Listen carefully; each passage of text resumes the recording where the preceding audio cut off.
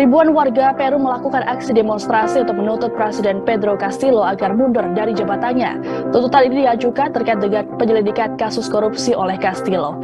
Diketahui saat ini Castillo tengah menghadapi enam penyelidikan enam kasus korupsi.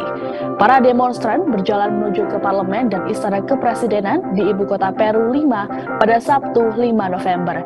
Mereka membawa bendera merah putih merah serta membawa poster berisi slogan anti pemerintah. Sejumlah polisi anti huru hara diterjunkan dan sempat terlibat bentrok dengan demonstran. Dalam pembubaran massa, polisi menggunakan gas air mata. Sejauh ini belum ada laporan terkait korban dari para demonstran.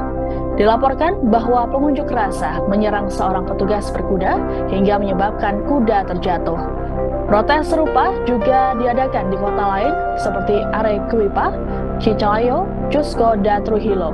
Masyarakat melakukan aksi protes ini lantaran mengaku sudah tak tahan lagi dengan kondisi keekonomian negara.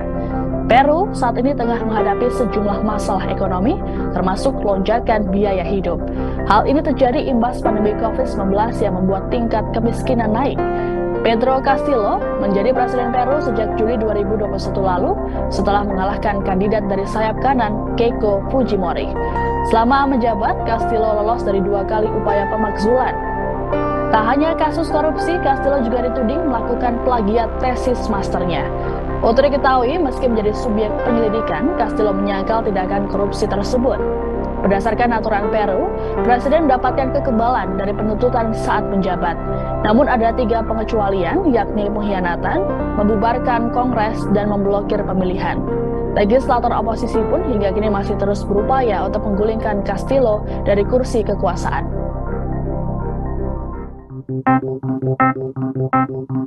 you.